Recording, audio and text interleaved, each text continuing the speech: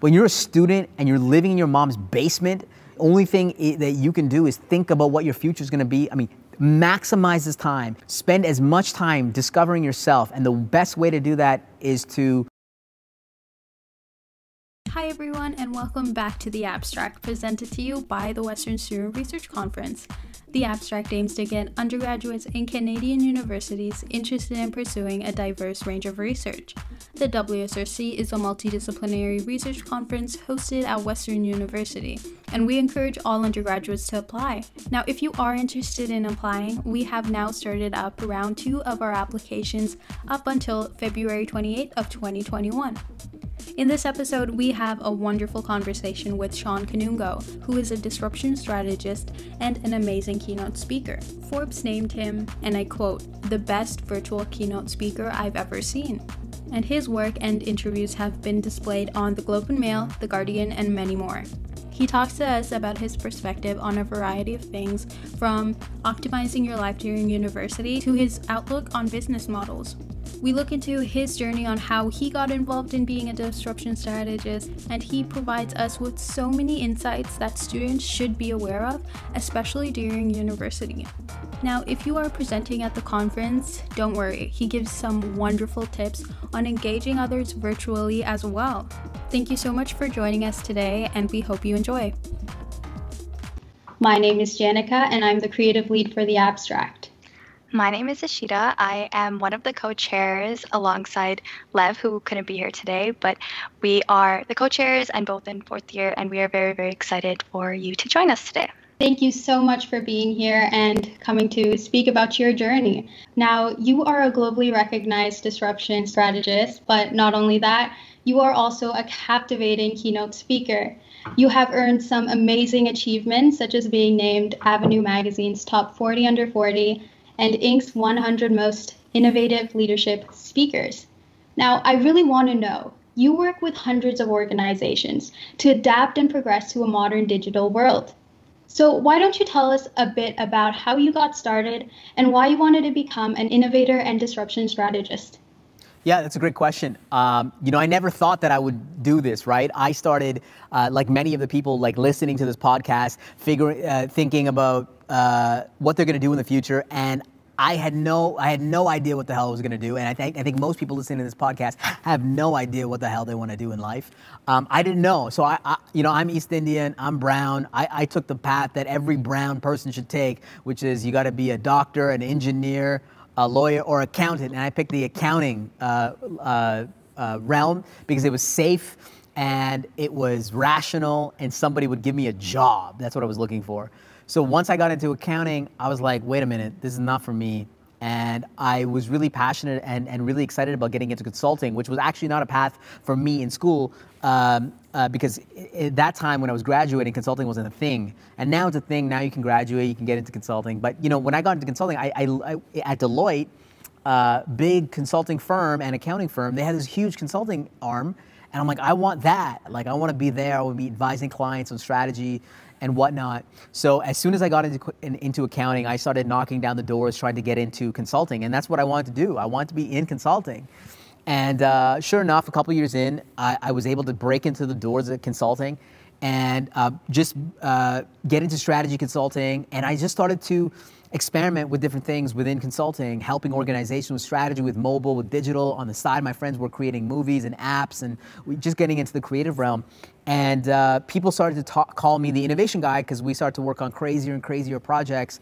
And um, you know, that's how I really built my brand, especially within the firm, was to work on really great innovation projects. And that's what I was really excited about, doing things differently, uh, trying new things, uh, whether it was inside my organization or outside.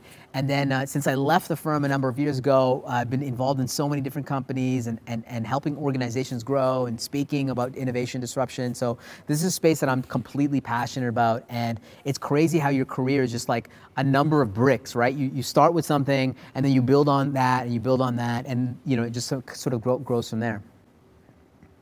That's super interesting. Um, so what sectors have you worked in thus far? Oh my God. I mean, I, have worked in every single sector that you can think of, um, whether it's financial services or public sector or manufacturing, CPG, oil and gas. Uh, I've worked in every single sector. Uh, for me, the sector that I love the most, that I'm passionate about, is uh, is anything consumer. I love consumer. I love B2C. I love consumer behavior, human behavior.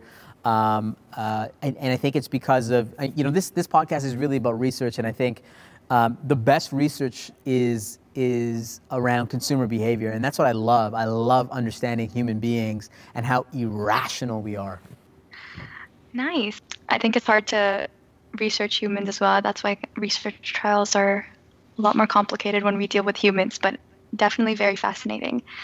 Uh, moving on to more of your your background as a disruption strategist, um, how do you come up with the right business model that fits your client's purpose?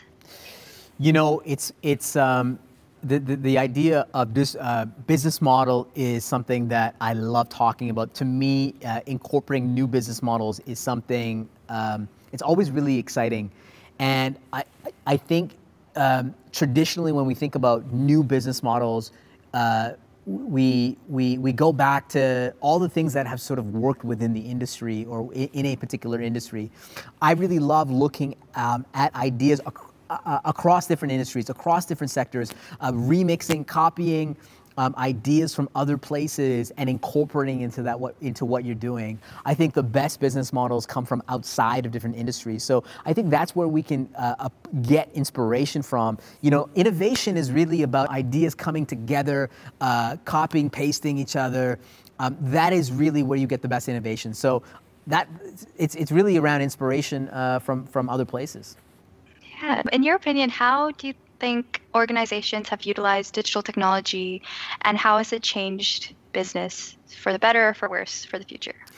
Yeah, um, how has digital technology uh, changed businesses? Well, y- you know, the, the standard thing to say around digital technology is that it has changed everything. But I, I, actually think that what technology has done is it has made things more efficient. Uh, it has made things faster. It has made things easier. But I really think that the innovation actually requires it, it's the human beings actually doing the innovation. It's us thinking about new ways of working and, and doing new things. I mean, technology provides us the platform to do things, but it, it really it, it innovation to me is about unlocking insights about human behavior. It's about chartering waters that we've never charted before. And technology can get us uh, so far. So, although I love digital technology and I love incorporating new technologies, I don't believe that it equals innovation. A lot of people think that innovation equals technology, and I, I, I don't believe that. I think it's, it's really about thinking differently and applying different lenses to things. And that's what I'm really excited about in terms of uh, new companies or, or, or uh, new organizations coming up is that they're thinking different. It's not just about the technology, they're thinking differently. And to be honest with you, the punchline is, is that, listen, technology is becoming a lot more of a commodity now. Like, technology is not even a differentiator. Um, really, what makes a, a, bigger difference is having a better business model, a better customer experience, a better process. Uh, technology is like, is becoming a, increasingly a commodity. And how innovation and the commodity of, of technology can just change just the whole business idea for, for everyone. Speaking of disruption right now with the pandemic, how did you change your outlook on your business models to fit the pandemic?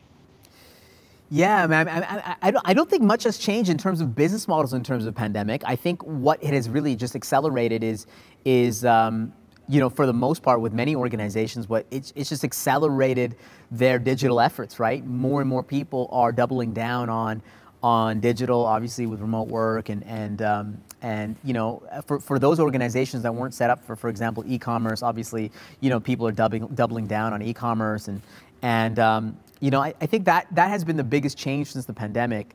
Um, but I also want to warn people when it comes to the pandemic is that I, I actually think that there's um, the world is not set up for the pandemic. The, the, like the fact that everybody's working from home, the fact that we're doing this on Zoom or Skype, like this sucks. To be, honest, I mean, I, I mean, this is awesome. I love connecting with you, but but to be honest with you, I'd love to connect with you in person.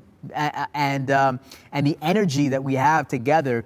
And here's the punchline when it comes to innovation: is that innovation is hard enough. Uh, it requires people and energy and collisions. It, requires the, the, ideas and people to come together to collide, to create momentum and to create energy. And although this is fun, we're in this theater and you guys are here and I'm looking at you and you guys are great and you're both wearing red shirts. I don't know why. Uh, it's, it's great. But to be honest with you, it sucks too. And I hope that when we get back to, when we get this vaccine, we can get back to colliding with one another.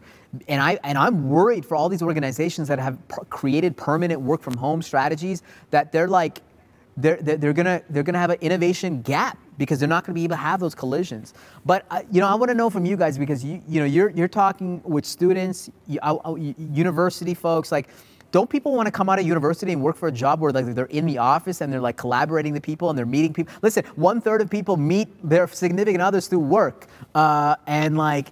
Are, don't don't people want to go to a place and work and not work from their sh- shitty uh, uh, uh, uh, homes and their parents' basements? Like, what do you think? Yeah, no, of course. I think everybody is just kind of itching to get back to campus, get back into um, in-person environments because I personally work with first year students and the the transition into university is hard enough and now they're on this in this online space they aren't able to make friends as easily like their only friend is me and i'm technically a worker of the university and that's that's not how I want it to be. Like, of course, I'm an upper year student helping out, but um, I think they're definitely missing out on a few few key moments that every first year university or uh, a freshman gets to feel. And that's not only for freshmen, but I think all university students are are missing those in-person moments, whether it be educational-wise or um, socially. I think we're all missing it. But hopefully, hopefully in the future, at some point, we'll be able to come back and um, safely get back to like the energy because I think the energy is very important and it, there's definitely a gap between the screen. Um, there's this this barrier where it's it's harder to get across uh, how excited you have to put in the extra effort and Absolutely. make that extra step to make sure everyone feels the way. Yeah. And how sure. are you guys both wearing red? How did that happen? It just happened. We we didn't plan it. we did it. Yeah, Today so, just a red day. Yeah, I guess so. Right? Yeah. we're just so in sync. Yeah.